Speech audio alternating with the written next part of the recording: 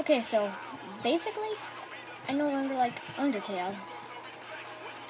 And I was looking for some plot servers because, hey, why not? I like I like to build stuff. And then I click the sign to create a plot, and then I get sent to a plot next to this dum dum.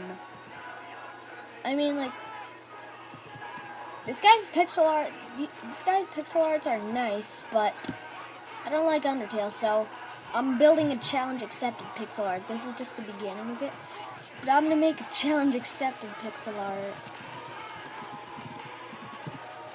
And uh I'm gonna make I'm gonna try to make them mad. And